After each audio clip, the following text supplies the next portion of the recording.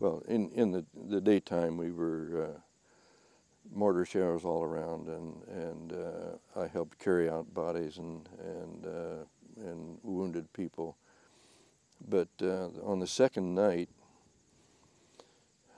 uh, the uh, it was even worse than the first night. I uh, was on guard. The other two guys in my uh, foxhole were uh, again sleep, uh, sleeping or at least resting, and uh, a piece of shrapnel came down from from uh, some of the Japanese artillery and went bzzz, bang, and landed right in front of my foxhole. It scared me. I jumped out of my foxhole into the one next to me. They thought I was a Japanese banzai attack, grabbed me, and one fella says, uh, I've got him, hold him, stab him. Uh, and uh, I said, I'm an American, I'm an American. Uh, they didn't believe me. Uh, finally, I convinced them that I was uh, an American recruit had just come over.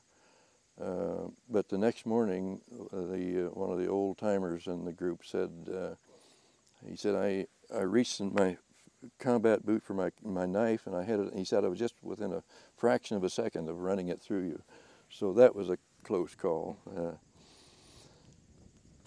but uh, I, uh, one of the things that happened in that three days was Japanese mortar landed in the uh, medical aid station and we lost 12 medics.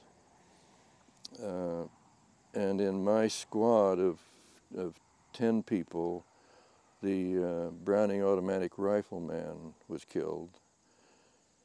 Uh, and uh, three others were wounded, so we ended up with just six of, of the 10 in, in, our, in my squad. But after three days, the, uh, the generals uh, recognized that they were up against some pretty tough uh, resistance there, so they pulled us back uh, for some rest and recuperation and, and then put in some very heavy barrage to mellow the, the, the, Japanese. But while we were back in, in uh, for rest and recuperation, the uh, my squad leader said, Hesser, you look strong, we'll give you the BAR. So I knew that that was, uh, the BAR man was a target, uh, and I wasn't real enthused about that, but I, I wasn't the kind of a person to say, no, give it to somebody else. So I took the, uh, the Browning automatic rifle out uh, on a makeshift range uh, fired a few clips uh, from a prone position, fired a few uh, from a standing position, which was the usual way of using the Browning automatic rifle in, in combat. And I thought I could manage it. I, I came back into camp and uh, a Jeep pulled up with Captain Fremont P. Koch, medical doctor. And uh, he said, is your name Hesser? And I said, yes, sir. He said, how would you like to transfer to the medics? We lost some medics in, in Zigzag. I said, boy, anything's better than carrying this BAR.